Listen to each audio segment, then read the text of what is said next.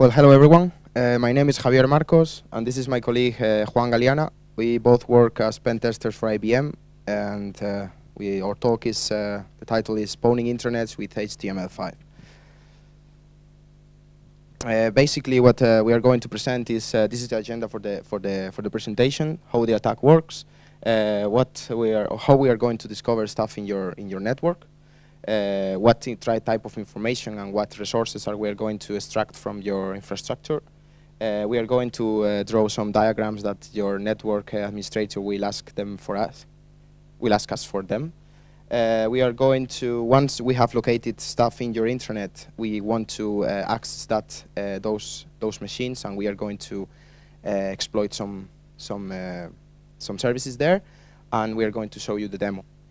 And then we are going to uh, some conclusions. If you have any questions, just jump in, and we, we try to answer them. So basically, how, the, how the attack works. Um, well, let's start off with the diagram of what we are trying to do. Uh, just uh, this guy here, oops. This guy here wants to extract information from this secure internet, which are some uh, clients connected to that uh, secure internet, and he's going to force uh, those clients to uh, visit some web websites that he controls to run some code, and with that code that will run within the intranet, he will be able to um, uh, work around the firewall, IDS, IPS, all the passive uh, uh, detection systems that can be in the intranet because the intranet is secure, isn't it? Um, so he's going to do th uh, that through the internet. So this is basically the, the idea of, of this presentation. How we are going to do that? let's start off with uh, what's HTML5. Everyone is talking about HTML5. So, well, this is some of the reasons that why you would use HTML5 on, of, or any other users uh, want to use HTML5. Uh, it has backwards compatibility with, with HTML4. Uh, it's just a new set of uh, new tags. Uh, some tags are deprecated. new tags in, new tags out, with new additions in JavaScript, new APIs, and new CSS content. It has also new cool features like Canvas, WebGL, geolocation, uh, native media support. You you will you won't have to use uh, anymore the Flash plugin. And then you will you can access the um, other domains from a different domain uh, using the cross uh, resource sharing um, requests, also known as CORS. And well, you will have to eventually because the modern browsers now they are shipping their own their browsers with the with support on them. And this is the futures of uh, HTML5 that we, what we want to focus on. Um, we want to use WebSockets, CORS, we want to use uh, web workers to parallelize some JavaScript code, and we, are, we want to uh, run uh, using the new uh, features of the uh, JavaScript APIs. Now what we have HTML5 as, as base of the attack, we are going to focus on Beef. Any, any, of, any of you know of Beef? Well, BEEF is like, it stands for Browser Exploitation Framework. It's a very nice way to uh, scare thing, to, to scare developers when uh, you tell them, you have a cross-site scripting. And they say, yeah, it's an annoying pop-up, but well, what can happen? Then you show them what can you do with BEEF. Uh, it's, it's, you can do really cool things. It works as a common uh, and control center for hooked browsers. The browser acts like the zombie of a botnet, and with BEEF you can run code on that machine. Uh, it has uh, se uh, several modules to, to run stuff and you can extract information from the browser. You basically you control the, the browser of the victim and uh, we are going to uh, focus on this. It was uh, the first version of that was developed by Wade Alcorn 2005. It was developed using JavaScript and PHP. The new version is written in Ruby, and the modules are written basically in JavaScript. Now we have HTML5 and then Beef how we are going to kick off the attack? Well, what we want to do is just uh, spot uh, a person that has access to the internet, that is connected in the internet, and then we are going to force him to visit a website that we control, uh, that we can just run our code that, or we can just use a, a phishing attack to do that, can do, some social engineering and know which forums the guy visits while he's in the office. We can uh, kick off the attack from there, or we can use URL uh, shorteners uh, that is in Twitter, Facebook, any social um, media or social engineering techniques can, can work for this. The, the, the point here is to, to make the guy who is within the intranet run the code that we, we control. And we are going to use Beef as the command control uh, center for that. And the, all the tools that we wrote for this, uh, they, are, uh, in, in, they are part of Beef already as modules. You can grab them in the next release, which will be the 10th of November. And well, those modules will uh, run with HTML5. Uh, and now, what, now we've we, we decided which uh, which toolset are we going to uh, use. What what can we what can we do? Uh, well, okay. So well, uh, we're going to use well, it works yeah uh, intranet footprinting that basically is um, get as much information as you can uh, um, about a network. So we want to know, uh, in, we, want, we want to locate the network range uh, to what the victim is connected to. So once we have the, that network range, we will identify the ac active uh, machines on the network and the internal host names. Then uh, we want to extract information about these machines so we will discover the open ports to map them to the service running. And we'll uh, try to do a basic uh, operating system uh, fingerprinting and then create a graphic and map the, the network. So well, for that we are going to use Beef, uh, the browser exploitation framework. Beef has two main uh, components, uh, the server side that is written in Ruby and the client side that is run it runs in the victim, and well, it's basically a set of modules. Here we have an image that we can see the, the list of hook browsers. With a quick look, we can see that we have a victim, and it's running Firefox with uh, uh, Linux. Well, it's kind of a control panel to manage hook browsers. So well, it comes out of the box with a set of modules uh, we can see there the module tree, so we have different categories, like exploits, the Metasploit uh, integration, network, browser, and other categories. And well, you can as well develop your own module.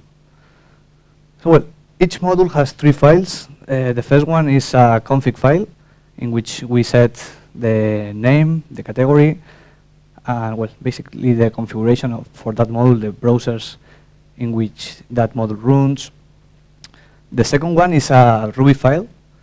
Uh, we have to define there um, the parameters for that module. It's an important file because the core and uh, the server needs that file to, to run. And then the, the last file is the, the JavaScript, the JavaScript code, in which we can use all the features of HTML5, and it's the code that is going to run into the victim browser. So that is the important part. So first of all, um, there is a module called Discover Internal Network that we can use to get the internal IP address of a victim. So if we run that module, it uses JavaScript to get the internal IP address, and we can get, uh, here on the bottom, we can see an image that the module returns uh, the internal IP address of the victim. Well, another module we developed was, is the ping module.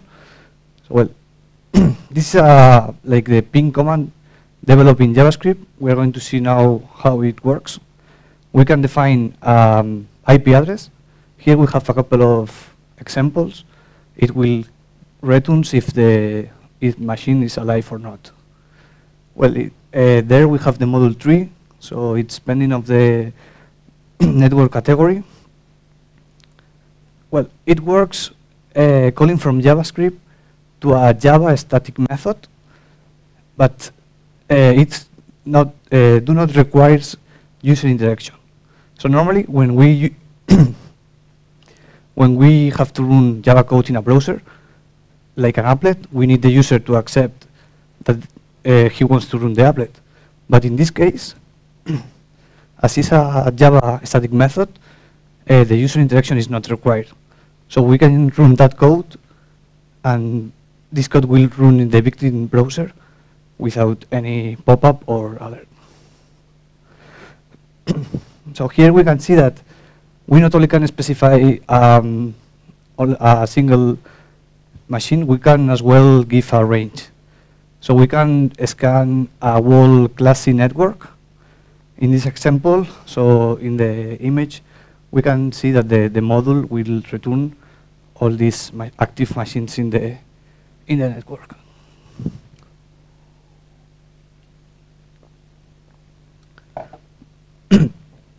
there is another model called intranet footprinting that is, uh, tries to discover web servers in the port 80 or 8080. So that module scans for Apache, IIS, and known routers and printers. Well, when we do our HTTP request from a browser, if it's cross-domain, we can't read the response. So how it works is it tries to, to load an image and then handling the unload, unload event uh, checks the size of that image. So the, mo the module has a database with known images and the sizes, and then checks for that size, and if it's the same, so uh, it knows that it's, for example, Apache 2 because that image was only in Apache 2. Um, but well, if we try to scan all the possible subnetworks, that's not practical. We need a lot of time. So what happens if we have an interesting host in a random IP address? For example, a known host like intranet.company.com. If we try to, to scan every subnetwork, we can't uh, guess that is in that IP range. So we're going to use a different approach here. We're going to use uh, DNS enumeration. Well, DNS enumeration is a known technique that is around for a while. And well, it's based on two key ideas. Uh, the, the first one is that most of the important servers have a DNS associated to them. And well, the second one and the most important is that if we try to resolve, for example, intranet in a web browser, the web browser will append company.com because the, the configuration of the DNS tools. so well, we have a problem that in JavaScript we cannot resolve uh, DNS entries, but we can try to make cross-domain uh, requests um, with cross-origin resource sharing or WebSockets, and well, uh, have have a look to the time that the request takes, uh, takes to come back, and depending of the time, we can see if that host exists or not. So well, for example, we can try to resolve known hosts like FTP, intranet, or web server, or something like that. So we define a dictionary that, well, in that case, the tool um, has one by default, but you can uh, provide another one. So the, the web browser starts to try every web, every hostname, and we'll get the list of the ones that takes more time to, to resolve. So that means that the, the host exists. And well, that command will come back with a list of all the host names. So now that we know which machines are alive, uh, doing a ping sweep or doing DNS enumeration techniques, we're going to try to extract more information about these hosts. So the next step is uh, try to see which ports are open in those uh, host names. So now you, you know we, uh, which machines are alive in the network, and even if the, you, you didn't figure out what was the IP, but you know that that machine, because of the name, is there. So now let's try to scan what ports those machines have open. It's the port scanning is uh, kind of uh, looking at uh, what a building, what's the purpose of a building, looking at the door. If you see a very secure door in a bank, probably well something is very secure in there. So it's the, the, the door should be uh, secure enough. So it's something like that. Uh, the most known uh, port scanner is Nmap, and Nmap is a great tool to run when you are within the network. But when you are outside of the network, we, are trying to kick off this attack in a in a secure internet. So Nmap is not a is not an option. So uh, we want to uh, get some uh, basic information, like uh, basic uh, OS fingerprinting or service proving to see which services are running in those machines. We are going to, to use these. Uh, sometimes uh, when you find a port that appears to be open, it's filtered. That's also some information. Means that something interesting is there. A firewall can be protecting that, so it's it's also information even if you if you cannot access it. So it's also know to good to know. And uh, well, the, the the the point here is to get uh, as much information as you can, and then later on you can analyze that information and see which ways you can take to to kick off the attack.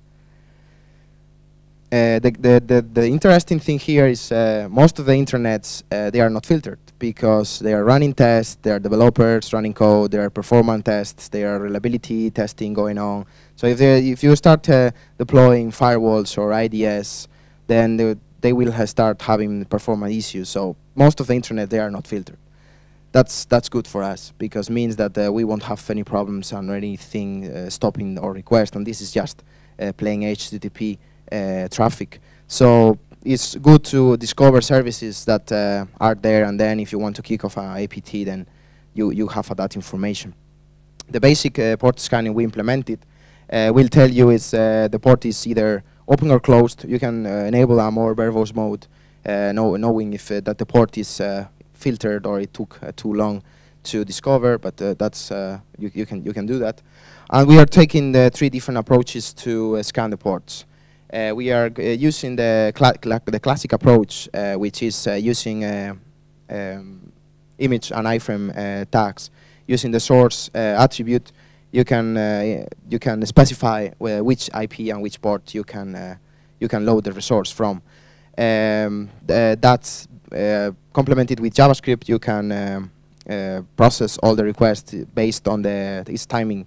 The, the the whole thing is is based on time. So based on the events uh, on on load and on error, then you can figure out things. Uh, then the HTML5 approach, it's using CORS and WebSockets, which uh, will let you do basically the same with JavaScript as well to handle all the events. Um, there are some problems to these approaches because, well, WebSockets and CORS they have they they took some uh, some things into consideration when designing the the thing. So there are some security measures for that. So it if you try to uh, to load a known port like SSH 22, it will tell you no, you cannot access that because I'm pretty sure that there is no uh, thing there that you are looking for. So it's it's blocked, and in Firefox as well, natively can block you uh, to do that. But that's not a problem because it was uh, discovered, or it was uh, explained by Jeremy Grossman back in 2005, using a different protocol than HTTP. Then you can work around this protection. And uh, the in using Wireshark to see how the, the port scanning we are running looks like it's exactly as the Nmap uh, TCP scan, which is the simplest scan you can run in, in, in Nmap. So here, as you can see, there's um, you can you will have that uh, that image uh, in Firefox if you try to load the 22 port, which is known to be for a different service, using the HTTP uh, colon slash slash uh, IP or hostname colon 22. Uh, WebSockets and CORS will raise an exception and won't let you load that content. But if you use FTP, then you got it and you can uh, still access that. Since I think if it was still Firefox 3.6, it let you to use the protocol Gopter, which now is not longer supported, but um, it works really well in the Internet Explorer, Firefox, Google Chrome, and Safari. And as I said, it's, it's based on timeouts. Uh, we, we provide uh, the values for uh, normal intranet that uh, they work out of the box in different browsers, but you can configure those for your own uh, intranet. So this is how the, the, the module looks like. It will be under the network category, and then you can provide the scan, uh, the, the IP to scan or hostname. Then you can provide the, the specific port to scan, if you put the default string, it will it will take a default list of ports of 180 ports, start taking from the most used ports that uh, Nmap uses. Uh, it's also um, correlated with a list of uh, known services for those ports. So it will, if the the port is mapped to a known service, it will tell you as well. And um, Then you can configure the timing for the the what's what to expect for a closed port, what to expect for an open port, and then what to expect uh, what what time to specify between requests because uh, you don't want to run all all of at the same time. It will maybe it, it will uh, raise some suspicions. Uh, the default list of the ports, uh, which is 180 ports, will take to scan uh, around five minutes. So um, it's not too bad. And uh, if you provide, if you put your script in a website which uh, runs a, a video, for example, Nyan Cat is great because it lasts like seven minutes. So uh, while the, the person is watching at that video, then you can start, uh, you can run your scans in the background, and it really, it really works well. So uh, now we have which machines uh, we have connected, which uh, other machines are connected as well, and we, we discovered them by domain and which ports they have open. Now we want to put them together and then really uh, provide this uh, diagram to uh, the, the well, some some people, the project managers mostly, they don't want to see a list of numbers and names, so they want something graphic, some eye candy, to see in a in a quick look how how to how to see what's uh, what's going on in the scan. So this we just uh, did this to just to make just just to make good to look good, and um, it's uh, it's also based on the port patterns. Uh, it's done a basic OS uh, fingerprinting as well. For example, if the port AS22 is detected as open, it's most likely that that would that would be a, a Linux box, and if the remote desktop is open, that would be most likely a, a Windows box and, and so on. So this is how it looks it's, uh, it's not too bad. Like, uh, well, this is all based in with uh, JavaScript and CSS, so it can be uh, embedded in any websites or Beef as well as common control. So now we have located uh, the machines that are alive, uh, the ports, the services that are running. Now we want to uh, start uh, having serious fun here. So we want to communicate with that and start exploiting things. Okay, so well, until here we extract enough information about the internet. Uh, but well, we got the active machines, ports, service running, and now we are going to show a, a technique tool that is interprotocol. That, that technique um, permit us to launch HTTP request from a web browser, but to non-HTTP web service. Well, non-HTTP um, services. So how we are going to do that? Uh, well, playing with post forms. So well, when we create a post form, the encoding type is uh, by default URL encoded. But there are a few others like plain text or multipart from data. Multipart, multipart from data is the encoding type used for file uploading. So well, we can put whatever we want there. Uh, so we're going to launch a request from the browser to uh, our service, and the service will ignore the lines like the HTTP headers, but will execute the commands that they understand.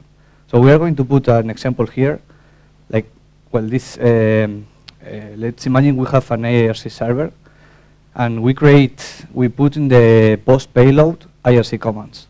So if I, I'm talking here about IRC, that can be whatever other protocol we want.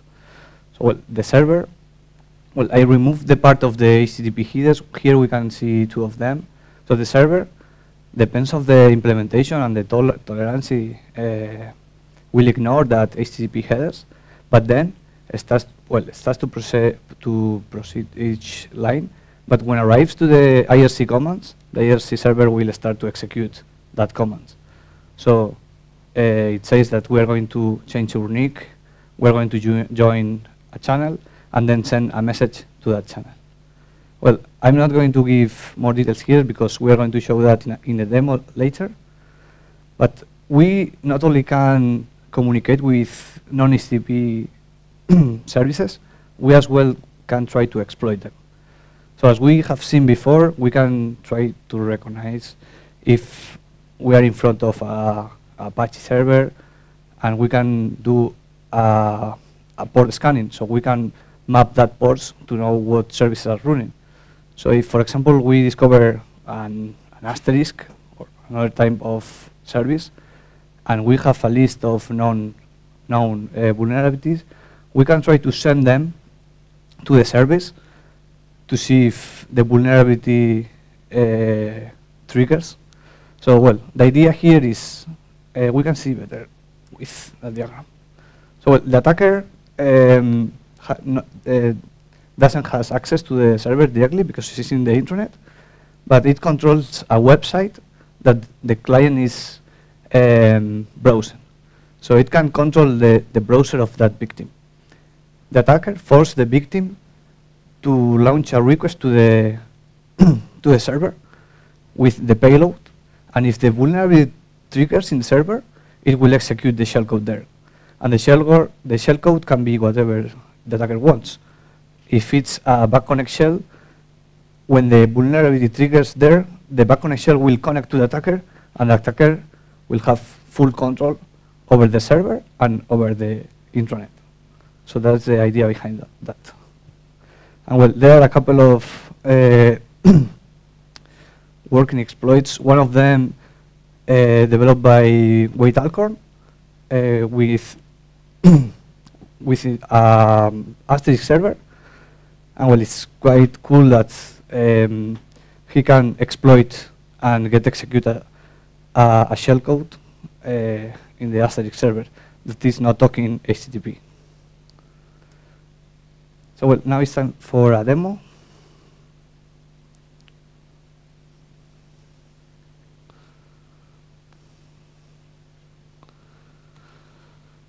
Okay, so uh, here we're launching launching Beef, the browser exploitation framework. Uh, well, Beef provides with the URL of the admin panel. So well, this is the admin panel. This is the the website that the attackers uh, will see. Here on the on the left will appear the the victims. Now we are going to open a basic demo. This tab uh, acts as the window of the victim. So in the admin panel will appear a new victim in a few seconds. There we go. So well, um, here we can see the information about the victim. Well, the we can see the well the operating system and the browser. We can see as well the, the plugins that that browser has, the internal IP address as well, if it has Java enabled, Flash, WebSocket support, well, this is an, a second victim that we connect that is running Safari in Mac. And, well, the same approach, we can get the information about that victim. Well, so same as the other, like the browser, pl plugins, screen size, has Java enabled, and so on. So, well, uh, if we go to the tab commands, here we have all those modules we were talking about. Uh, they are split in different categories, the, the browser one, the host internet protocol category, the integration with Metasploit that, well, it's being developed right now, network category, the, well, the has a category for persistence, few modules to try to uh, force the victim connected and well, for each, yeah, well, uh, if the module has the green color, it means that is supported by in this browser, and if it's red, means that it's not supported or well requires user interaction. So for for each victim, we have a tab there, so we can control individual victims and we'll launch commands to them. So we're going to show the, the network reconnaissance toolkit. So well, first of all, this is the discover internal IP address. So well, we send that command to the victim. The victim executes the JavaScript code and then returns back that string to the to the admin panel. So here we have uh, the IP address in, the, in this case. Uh, we are running in the same machine, but uh, will appear the, the IPS of the victim. Then we can try to run the pin sweep uh, module. For that, we need to to know before the in which network is the victim. So we we set, uh, for example, 50 machines, and then just hit execute. And well, if we wait a couple of seconds, we start to receive the the hosts that are alive. So here's the list. now um, we are going to run the um, the DNS enumeration module. So uh, the module comes with a um, default dictionary of host names, but you can provide uh, whatever you, you want. So well, same idea. It takes a while to, to launch the, the, the command, but well, in a while we start to receive that DNS entries that are in the intranet of the victim. So well, now well, if we come back to the to the ping sweep command, we can get the, the full list of the hosts that are alive. So we're going to pick like well the this one machine, and we're going to see uh, to to run a port scanning on, on that. Okay, so now in the port scanning thing, you, you provide the IP, the list of ports. Uh, well, I'm going to remove the default one. I'm going to provide just a list of, of, of ports to I want to scan in that machine, then the timing that I will leave as uh, the default values, and it works. Well, it's, uh, it, it will run in the in the victim, uh, so I will start getting what's uh, what's uh, where those values. It's important to know that. Um, the method we are using here has been seen in other other tools presented in other conferences, like for GS Recon, which was performing a WebSockets port scanner. But uh, those tools were using only the WebSockets method or the CORS method. Uh, we are using the three of them combined. For example, uh, sometimes uh, the WebSockets results are not very reliable, and then you want to to use another technique to double check that. So we are using these three methods to to check that really uh, that port is open. Or sometimes the classic approach will tell you that that port is open. Then if you run the WebSockets, uh, it will tell you that that port is filtered because it can you can access it. It's, it's a bit more accurate. So that's that's that's interesting, and uh, it will it will give you a bit more of information. Which is uh, well, as you can see, the it gives you the the service, which is uh, if if port 22, it no is sort of 21. So now we know that uh, we have a set of machines, a number of machines that are alive with a few ports open and, uh, and other machines that we want to just uh, show them in the in the nice diagram that I was talking before. So this is that uh, you can uh, embed the, the diagram there and then just put that in your report for your pen test, which is it's not too bad. Like you can just uh, move it around and then make it look as, as you like, just a, a bit of eye candy. And yeah, as you can see, you can see different icons. That uh, was because of the um, the ports, uh, uh the OS uh, basic fingerprinting. If uh, the TUX uh, displays, because the 22 is is there as, as as open. So that's the the basic OS fingerprinting that you can just see with with this diagram. And well, well, those were the tools that we developed as modules of PIF for the for the for the mapping stuff in the intranets. And now I'm gonna show you the how the the interprotocol looks like uh, just uh, sending some commands to the IRC.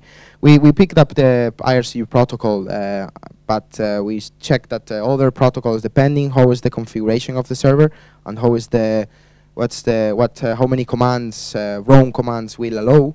FTP lets you run these things and SMTP as well but it will have to be in a non-standard port and uh, there's few uh, um, protocols that will swallow all that uh, all the headers so which is good. And now we just provided the the the channel that we want to send the message the type of message uh, and then we just connect it using IRC uh, to uh, that server to see if the thing works and the the big thing will connect. And it's that thing is really cool because you can use well, it's been used in uh, with some botnets IRC to control uh, which victims they have hooked, and as you can see, it connects and it sends a message, so, so you already know that that guy uh, is being uh, uh, hooked into the into the thing, and well, it's pretty much it. It's it's all the build on the beef. You can just uh, get the code and try it yourself.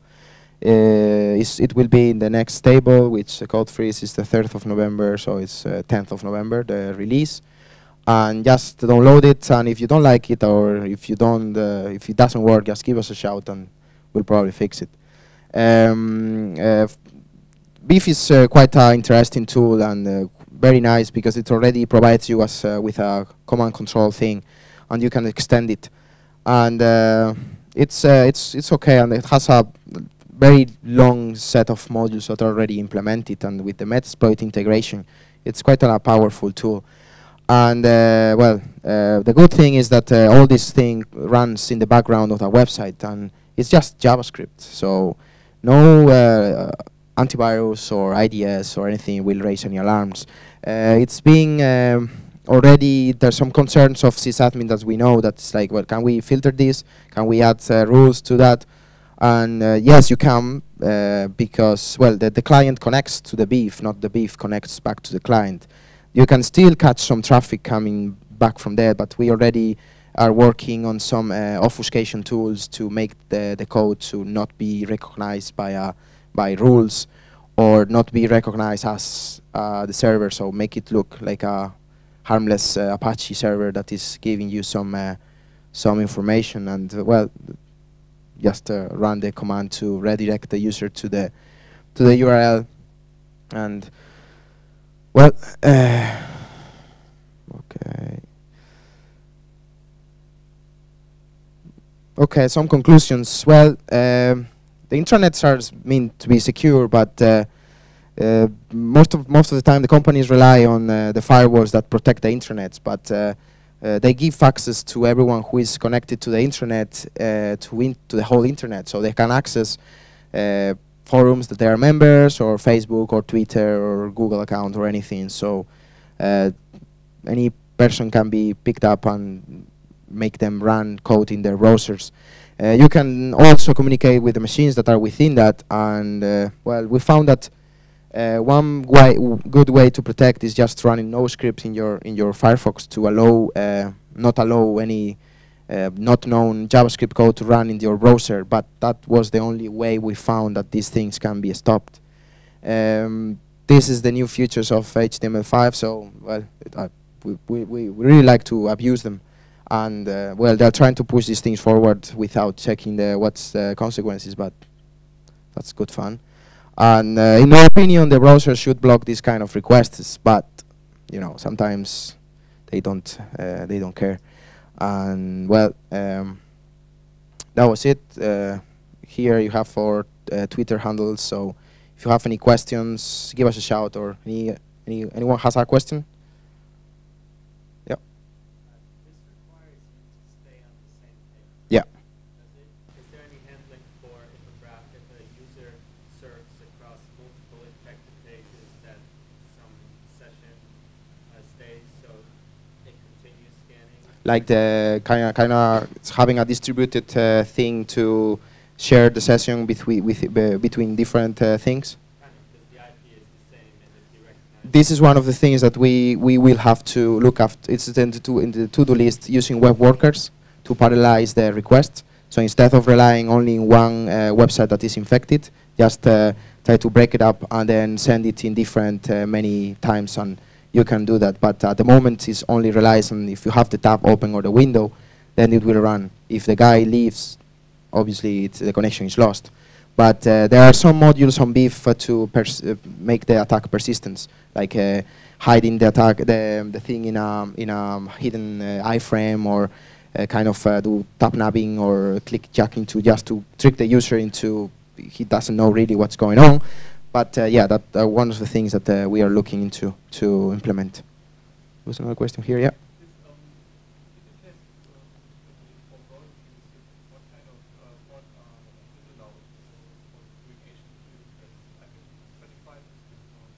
Twenty-five. No, it's blocked. Twenty-five is blocked, and uh, uh, that's very blocked.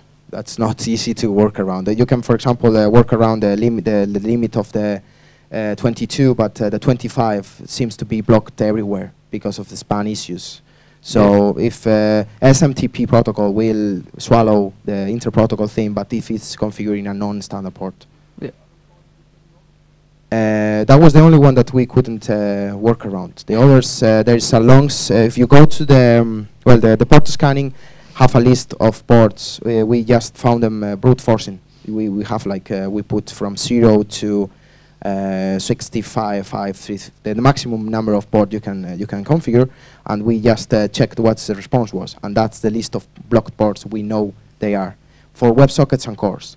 Uh, then Firefox is a different story because the block is native, not, uh, natively, so it's uh, smaller. But still, we are taking the biggest one because uh, then if it's blocked, we notify that the port is blocked. But still, even if the port is blocked for WebSockets and cores, you can still run the, the classic approach.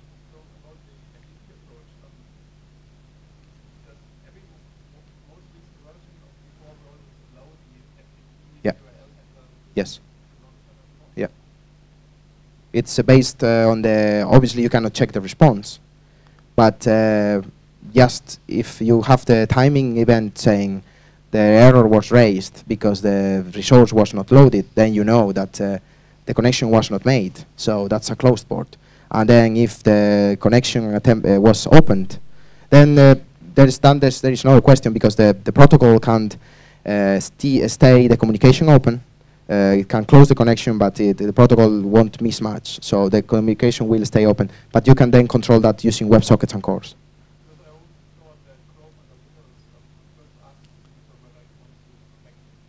No, no, it's uh, because it won't connect to FTP, the protocol. If it uh, if he wants to connect to FTP, then the protocol will match, and then it will ask the user. But this time is you are loading an image, which uh, will send you into a resource that is uh, the image, which will either try to load it or not. If it loads, then uh, it will then you can uh, capture the event for open port, and if the port is open, if it doesn't, then it's an error, and then you can capture that as uh, closed. So. No problem. Any other questions? Well, I will be around, so if you have any other questions and or anything, just give us a shout. All right? Thank you. Thank you.